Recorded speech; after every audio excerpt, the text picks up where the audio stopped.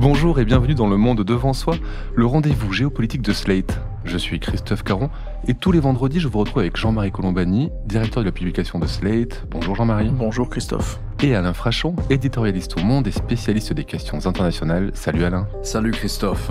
Et Ariane Bonzon, journaliste et spécialiste de la Turquie. Bonjour.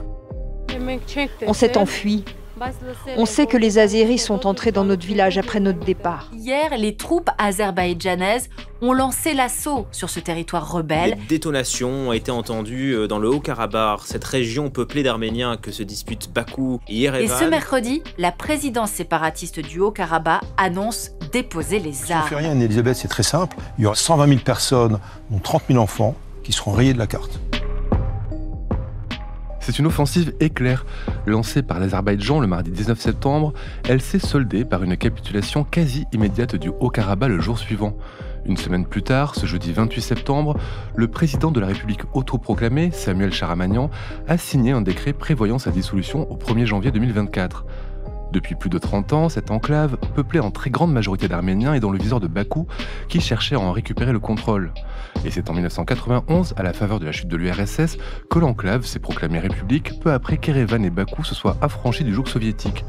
Une première guerre de 6 ans entre 88 et 94 s'est soldée par une victoire de l'Arménie et 30 000 morts. En 2020, c'est l'Azerbaïdjan qui a pris le dessus après un conflit de 44 jours, causant la mort de 6500 personnes. Depuis, les tensions étaient toujours vives autour de ce territoire grand comme un département français, 4000 km, mais un territoire dans la sphère d'influence de la Russie qui intervenait régulièrement pour imposer négociations et cesser le feu. Mais cette fois, ni Moscou ni Erevan n'ont levé le petit doigt. C'est donc une victoire de l'Azerbaïdjan, mais pas seulement. De nombreux acteurs régionaux soutenez l'un ou l'autre des deux camps, que ce soit, on va le voir, la Turquie, l'Iran ou Israël. Alors Ariane, pour commencer, est-ce que vous pouvez nous expliquer cette opération antiterroriste que l'Azerbaïdjan dit avoir menée pour justifier son offensive au Karabakh? Oui, c'est le terme antiterroriste qui a été invoqué, qui fonctionne assez souvent. Alors là, dans le cas précis, ça aurait été six soldats azéris qui auraient sauté sur des mines en tentant de franchir la ligne de contact entre l'Azerbaïdjan et le Karabakh. Mais la presse, n'a, enfin, il n'y a pas eu de photos, en tout cas que je sache, il n'y a pas eu de, photos ni des blessés ni de morts. Donc, euh, bon, cela dit, il y a souvent des, affrontements, il y a eu souvent des, morts, ça n'exclut pas que ça ait pu arriver. Mais enfin, on n'a pas eu la preuve visible. Alors, on peut considérer que c'est un prétexte parce que tout de suite après, il y a eu une offensive, des bombardements en particulier, et très vite, la population a fui, si vous voulez, c'est les zones qui ont été bombardées. On, compte quand même 200 morts hein, en, en très peu de temps. Alors, ce qu'il faut voir, c'est qu'en fait, cette, cette offensive a rompu le cessez-le-feu qui avait été mis en place sous les auspices russes. D'ailleurs, les Russes avaient déployé 1900 observateurs, hein, euh, enfin plutôt des, gardiens de paix, enfin euh, dans cette région-là, qui n'ont pas bougé. Et ce cessez-le-feu donc avait été signé en 2020, donc c'est rupture du cessez-le-feu. Mais surtout, cette offensive est venue après neuf mois d'un blocus terrible sur ce qu'on appelle le corridor de la Chine, ce corridor qui relie l'enclave du Karabakh à l'Arménie. Et depuis neuf mois, les populations étaient affamées, ce qui fait que avec cette offensive militaire, c'était pas la goutte d'eau qui fait déborder le vase, mais enfin c'était quand même les populations ont été déjà épuisées par neuf mois de blocus, d'où peut-être aussi cette fuite assez rapide.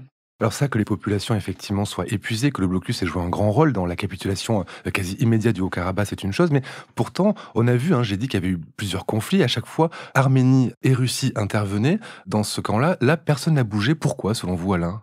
Pour ce qui concerne euh, la Russie, je vois une raison principale, c'est qu'elle est investie en Ukraine, que tous ses moyens militaires sont investis en Ukraine et qu'elle n'a pas envie de s'investir sur un deuxième front très compliqué.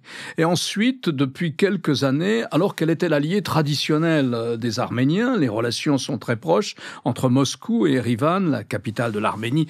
Et si vous voulez, c'est 3 millions de personnes. Eh bien, il y avait même une, il y a même, il y a toujours d'ailleurs, une grande base militaire russe euh, en Arménie. Et l'Arménie fait partie de ce qu'on appelle euh, l'organisation du traité de sécurité collective. C'est une sorte d'OTAN régionale, si vous voulez, mise en place par les Russes et d'ailleurs dominée euh, par les Russes. Et donc l'Arménie pouvait pendant longtemps s'estimer être le protégé de la Russie. Et puis au fil des ans, les relations se sont resserrées entre Bakou, la capitale de l'Azerbaïdjan, de la République d'Azerbaïdjan, et Vladimir Poutine. Donc deux raisons qui font que les Russes n'ont rien fait pour ne pas dire qu'ils sont coupables de complicité passive pendant les neuf mois qu'évoquait Ariane. C'est-à-dire que pendant neuf mois, la population du Haut-Karabakh, c'est pas grand monde là non plus, c'est 120 000 personnes. Et selon, les autorités du, Haut-Karabakh, parce que le chiffre est contesté par Bakou. Oui, alors Bakou dit moins. Mais ce sont essentiellement en plus des personnes âgées, parce que les jeunes qui ont fait la guerre de 2020 et celle de 1994, ils sont partis. Ils n'ont pas eu envie de se faire attraper par l'armée euh, azérie euh, dans le conflit actuel. Donc les jeunes sont partis, et sont partis en Russie ou bien en Arménie, et donc il reste une population d'enfants en bas âge et de femmes. À peu près 60 000 personnes ont déjà quitté le Haut-Karabakh pour aller se réfugier en Arménie. Mais quand on regarde les photos de cette fuite éperdue depuis euh, mardi, bon, c'est comme toujours les images des réfugiés, mais ce sont des images particulièrement dures. Ce sont des gens qui pendant neuf mois ont vécu sans eau et sans électricité, presque sans nourriture quelquefois. Ce sont des gens souvent très malades en plus.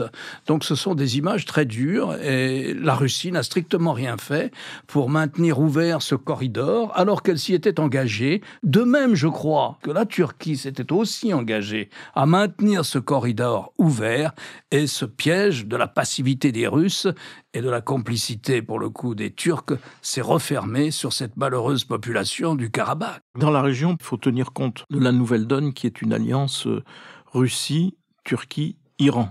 Et c'est ça l'axe euh, local qui prédomine. Et donc évidemment, l'Arménie dans tout cela passe par profits et pertes. C'est assez évident. Oui, la Turquie a toujours été proche d'Azerbaïdjan parce qu'elle est l'ennemi de, l'Arménie. Il y avait une autre raison qui a été évoquée pour la non-intervention de la Russie, au-delà de celle développée par Alain, c'est la ratification du traité de Rome par l'Arménie, qui la ferait intégrer la CPI. Et ça, Moscou l'aurait très mal pris, euh, dit-on, et ça aurait refroidi les relations. Est-ce que ça a joué, selon vous, dans cette non-intervention? Ça a sans doute joué dans un contexte plus global. Il y a un éloignement du nouveau Premier ministre arménien, vous savez, qui est arrivé au pouvoir après une sorte de révolution de couleur en Arménie, qui s'appelle Pachinian, et qui était beaucoup plus pro-ouest, pro-occidental.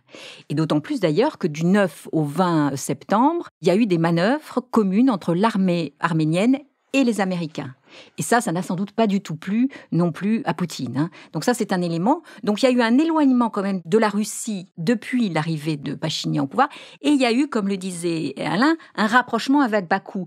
Mais un rapprochement en plus très récent. C'est-à-dire qu'avec les sanctions qu'on a décidées contre euh, la Russie à cause de l'Ukraine, la Russie est très contente de pouvoir évacuer, de pouvoir faire passer son gaz, son pétrole par le biais de Bakou. Donc elle est devenue un peu plus dépendante de l'Azerbaïdjan qu'elle ne l'était. Pour conforter ce que dit Ariane, euh, chez Poutine, l'ennemi, c'est la démocratie. Et donc l'évolution en effet démocratique de l'Arménie ne peut pas lui convenir parce que l'Arménie fait partie de ce que l'on appelait euh, l'étranger proche ou une zone d'influence qui doit rester euh, arrimée au fond à l'influence russe.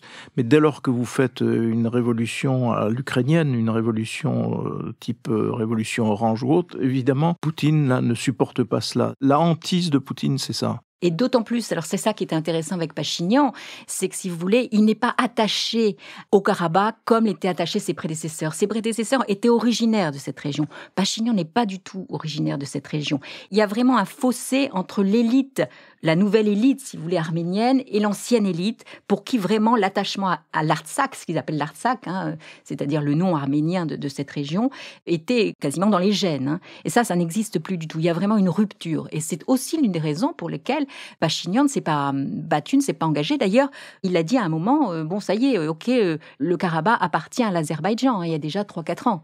Donc, bon, après, ça a été confirmé par un certain nombre de sommets, mais il l'avait déjà formulé, ça. L'ennemi, c'est la démocratie, avez-vous dit Jean-Marie, mais l'ennemi, c'est aussi l'Iran et les rapports, les relations euh, des pays de la région avec l'Iran ont déterminé, euh, malgré lui, le destin du Haut-Karabakh. Oui, parce que dans ce conflit, depuis le début d'ailleurs, depuis euh, la guerre, euh, bon, la guerre commence l'effondrement de l'Union soviétique. Tant que l'Union soviétique euh, maintenait sa domination, il n'y avait pas de problème, en tout cas pour les populations du Haut-Karabakh. Mais dès le début de la guerre, au début des années 90 et surtout la guerre de 1994, l'Iran prend le parti de l'Arménie. Pourquoi? Et pourquoi encore à nouveau l'Iran est plutôt du côté On pourrait penser à une sorte de solidarité des musulmans contre les chrétiens, mais on se tromperait. parce qu'il faut rappeler que la population du Haut-Karabakh est majoritairement chrétienne. Oui, arménienne. Comme les Arméniens. Majoritairement arménienne, c'est ça, comme les Arméniens. Alors, mais pourquoi? Parce que Une partie de l'Azerbaïdjan se trouve en Iran, de l'autre côté du fleuve Arax, n'est-ce pas? Ariane, j'ai du mal à prononcer, se trouve en Iran, notamment la grande ville industrielle qui est juste en face, c'est la ville de Tabriz, dans la République islamique d'Iran. Et puis, de l'autre côté du fleuve, c'est la République d'Azerbaïdjan. Mais vous savez, le nationalisme grand perse, ça existe aussi. Et il considère que au fond, il pourrait avoir des revendications de l'autre côté du fleuve, et que si l'Union soviétique ne les avait pas partagées en 1945, ils auraient pu rester aussi de l'autre côté du fleuve.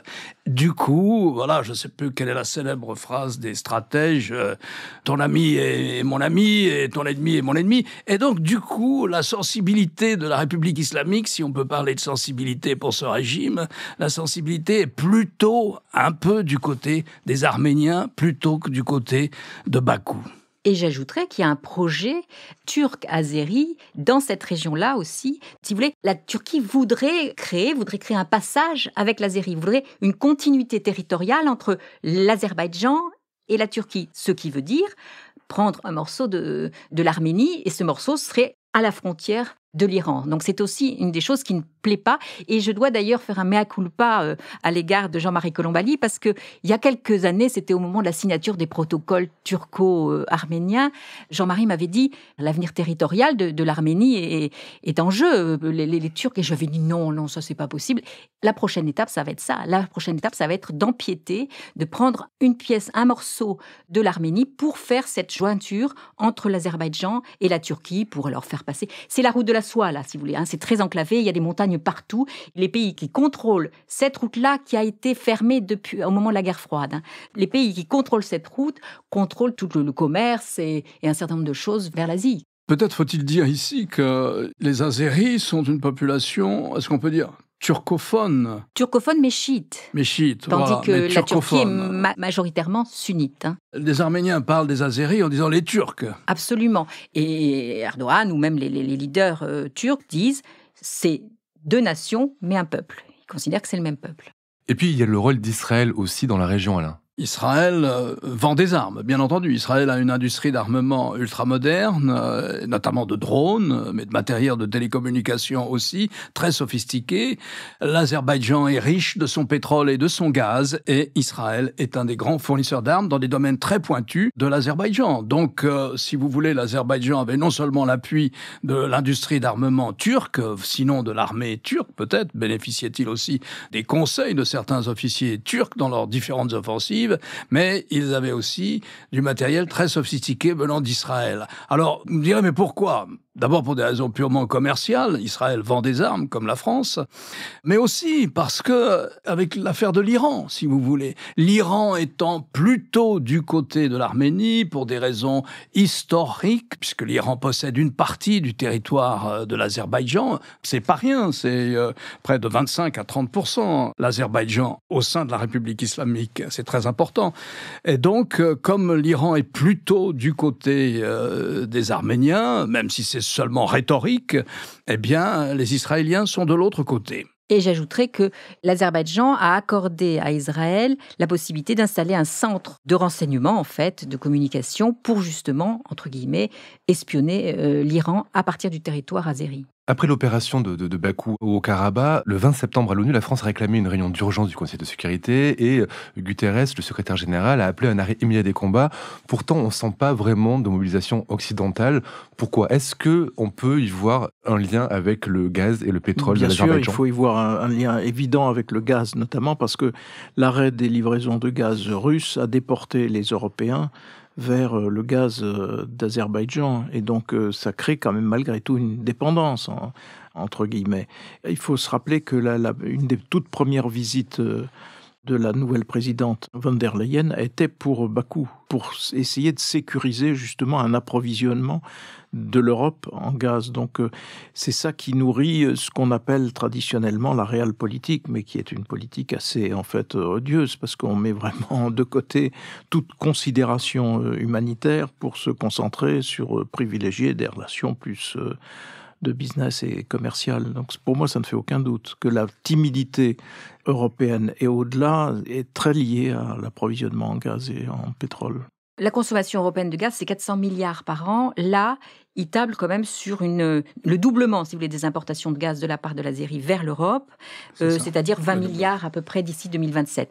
C'est quand même pas énorme. Hein, c'est quand même à peine c'est 5%, de nos besoins. Donc euh, voilà, il faut relativiser. D'ailleurs, je crois que les Français, je crois que c'est surtout l'Italie, l'Autriche. C'est l'Italie et l'Autriche. L'Italie et l'Autriche sont très dépendantes parce qu'ils étaient vraiment dépendants à 100% du gaz russe. Est-ce que ce serait trop simplifié que de dire que le conflit ukrainien, au-delà de la mobilisation des Russes sur le sol ukrainien, a précipité cette invasion euh, éclair du Haut-Karabakh par l'Azerbaïdjan en raison justement des jeux qui se passaient sur le plan euh, de la consommation de gaz avec l'Europe, le fait que l'Europe doit se tourner vers l'Azerbaïdjan? Je dirais que c'est un petit peu précipité, mais en revanche, le Covid, d'ailleurs, avant l'Ukraine, le Covid, beaucoup de pays étaient retournés vers eux-mêmes et on a vu un certain nombre de conflits gelés où des pays, d'ailleurs, comme la Turquie, poussaient leur, leur avantage sur un certain nombre de dossiers sur lesquels ils n'auraient pas osé faire quoi que ce soit dans une, situation euh, normale. Et c'est la même chose avec l'Ukraine.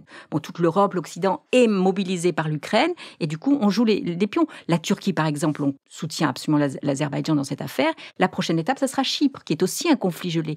Il me semble que là, on va avoir euh, énormément de dossiers comme ça qui vont être réouverts avec cette espèce de redéfinition d'un nouvel ordre international et ça risque de faire très mal. J'irai encore plus loin qu'Ariane parce que je pense qu'il y a un lien direct entre ce qui s'est passé en Ukraine, c'est-à-dire l'invasion russe de l'Ukraine et euh, la multiplication prochaine de conflits. Pourquoi? Parce que auparavant, les frontières étaient sacralisées.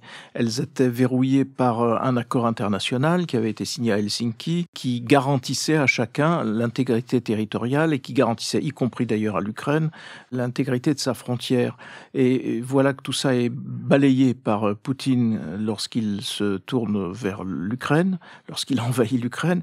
Et donc, comme il n'y a pas d'instance qui puisse stopper cela, le Conseil de sécurité est évidemment paralysé, comme au temps glorieux de l'Union soviétique, puisque le veto russe, accompagné le plus souvent d'ailleurs du veto chinois, bloque les choses. Allons-y, tout est permis. Donc euh, vous avez des appétits sur telle ou telle région, euh, vous vous lancez, c'est ce que viennent faire les Azéris, et puis d'autres feront de même. Donc c'est ça qui profondément, dans la démarche de Poutine, met en danger l'équilibre mondial, mais met en danger concrètement, ici et maintenant.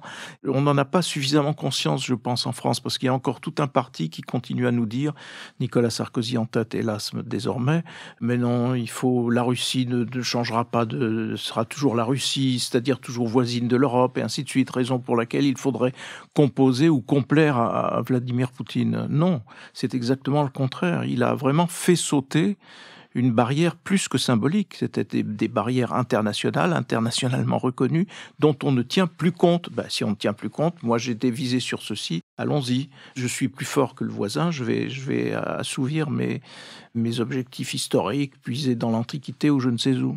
Vous avez parlé, Alain, de ces colonnes de réfugiés qui quittaient le Haut-Karabakh. On les chiffre à 68 000 hein, au dernier décompte. L'Arménie parle de nettoyage ethnique au Haut-Karabakh. C'est le cas, Ariane? C'est ce qui se passe là-bas oh, Je crois que c'est un nettoyage ethnique, oui. Tous ces Arméniens-là étaient des locaux. Hein. Il n'y a pas eu de colonie de peuplement, c'est-à-dire que les Arméniens n'ont pas envoyé des Arméniens vivre euh, au Karabakh. Ça, c'est un premier point. Les gens qui étaient envoyés, c'était des conscrits. Jamais d'ailleurs des cadres, des officiers de l'armée. Des conscrits allaient faire leur service militaire, souvent pour soutenir en fait euh, l'armée arménienne. Mais donc, ce sont vraiment des locaux, ce sont des gens qui ont une histoire hein, de leur famille, etc. Après, il faut... rappeler peut-être que c'est un territoire qui est disputé depuis des siècles et que les frontières actuelles ont été fixées par Staline il y a 100 ans, en 1921, sans tenir vraiment compte des ethnies qui se répartissaient sur le territoire. Absolument. Il faut aussi rappeler qu'après la guerre de 88-94, c'est pas 60 000, mais 200 000 Azéris qui ont dû quitter cette zone-là qui avait été remportée par les Arméniens. Hein, donc, donc là aussi, il y a eu. Bon, ils ont commencé à revenir à la faveur du cessez-le-feu de, 2020. Et je pense que là, ils vont revenir complètement occuper toute cette partie-là. Donc, les Arméniens qui sont là, ce sont des personnes âgées, comme l'a dit Alain, ce sont des gens, mais ils n'ont pas beaucoup le choix, si vous voulez. D'ailleurs, il y en a qui arrivent, commencent à arriver en France. Moi, j'ai eu l'information déjà qu'il y avait trois, quatre voitures d'Arméniens, ils mettent cinq jours pour venir, qui sont arrivés. On va, on va sans doute voir des réfugiés arméniens du Karabakh, du Haut-Karabakh, arriver en France. Merci Ariane, on va quitter le Caucase pour l'Afrique. Jean-Marie, Alain, je voudrais juste revenir sur une annonce qui a été faite, celle de Paris, qui a dit que euh, les troupes françaises allaient être retirées du Niger d'ici la fin de l'année. Quelles vont être les conséquences pour Paris et pour Niamey, Alain? Je ne ferai pas de prophétie. Je pense que c'était dans les tuyaux que les troupes françaises allaient partir après euh, le coup d'État qu'il y a eu à, à Niamey. Je ne vois mal. Si vous voulez, c'est toute l'ambiguïté de cette affaire. On accuse les Français de néocolonialisme, mais c'est tout le contraire en l'espèce. Euh, nous sommes là à la demande du gouvernement du Niger, nous partons à la demande du gouvernement du Niger, même si nous ne reconnaissons pas à 100% ce gouvernement, puisqu'il est issu d'un coup d'État contre une démocratie. Donc on s'en va. C'est le contraire absolu de ce qu'a pu être euh, la France-Afrique. Alors est-ce que ça peut avoir des conséquences? Moi je ne sais pas. Euh, je sais qu'à Bruxelles, par exemple, il y a des, des spéculations sur le point suivant vous avez maintenant une présence russe assez forte au Burkina, vous en avez une au Niger et au Mali. Ces trois pays sont les trois pays qui sont très souvent euh, des pays euh, d'où les gens partent pour aller en Europe. Autrement dit, vous pouvez dire qu'une partie de la route de l'immigration pourrait être très largement dans les mains de la Russie et que ça intéresse la Russie avant les élections. Euh, on voit bien la tension en ce moment sur l'immigration dans toute l'Europe, comme aux États-Unis. On a vu forte poussée de l'extrême droite euh, en Allemagne. On voit bien cette tension. Et il y a eu 133 000 à ce jour, depuis janvier à aujourd'hui, pour autant qu'on puisse compter 133 000 réfugiés illégaux dans l'Union européenne, et puis un certain nombre de morts à nouveau en Méditerranée. Donc imaginez que ce soit vrai, imaginez que les Russes aient véritablement comme ça une une sorte de mainmise, enfin, ou même partielle, sur euh, les départs de l'immigration. Hein. Après, ce sont les pays tiers. Et ensuite, la Méditerranée. Eh bien, oui, ça, je, vois très bien comment Vladimir Poutine pourrait s'en servir, particulièrement en France. C'est une des conséquences possibles, en effet. Après, c'est aussi pour la France une, une occasion contrainte de réviser tout un pan de sa politique traditionnelle vis-à-vis -vis de l'Afrique. Les changements étaient déjà, au fond, énoncés par Emmanuel Macron, puisqu'il cherchait à substituer un mode ancien de gestion de la relation avec les pays africains, essentiellement constitué par des accords de défense. Il voulait lui substituer des partenariats et des partenariats davantage liés à l'aide au développement. Et donc il avait jeté les bases de cela, mais il a été rattrapé par les putschistes, au fond, qui ont euh, anticipé le mouvement. La seule chose qu'on pouvait discuter, c'est fallait-il partir dès qu'il y a eu le putsch, ou bien fallait-il résister ou tenter de résister comme euh, Emmanuel Macron a, souhaité le faire? Il a voulu le faire parce que les pays africains de la CDAO avaient annoncé qu'ils interviendraient. Et donc la position française qui consistait à dire on ne bouge pas était en fait en attente de l'intervention de la CDAO qui n'a pas eu lieu. À partir du moment où cette intervention n'avait pas lieu, il n'y avait plus de possibilité de rester. Il fallait partir alors qu'on aurait pu partir d'entrée de jeu mais euh, c'eût été à ce moment-là tourner le dos aux pays de la CDAO qui sont quand même toujours assez proches de, la France. Mais par ailleurs, en Afrique s'installe aujourd'hui une influence chinoise qui est déjà forte sur le plan économique, des infrastructures, euh, etc. Je passe aussi sur l'influence saoudienne qui, elle, se traduit par l'éclosion de mosquées un peu partout, salafistes notamment qui ne se contente pas de l'Afrique euh, sahélienne. La Russie, à travers la milice Wagner, mais au-delà, et puis les États-Unis qui vont certainement essayer de ne pas laisser les choses s'amplifier sans être euh, présentes ou d'une certaine façon ou partie prenante. Merci à tous les trois pour vos explications et vos éclairages. Alain, je rappelle votre chronique chaque jeudi dans Le Monde et sur le monde.fr. Jean-Marie, quant à vous, je rappelle votre émission politique sur France 24 le jeudi aussi. Merci messieurs, merci Ariane et à la semaine prochaine pour un nouvel épisode du Monde devant soi. Merci Christophe. Merci Christophe. Merci. Le Monde devant soi est un podcast produit par Slate Podcast avec Jean-Marie Colombani et Alain Frachon. Direction, production éditoriale, présentation Christophe Caron. Montage et réalisation Aurélie Rodriguez.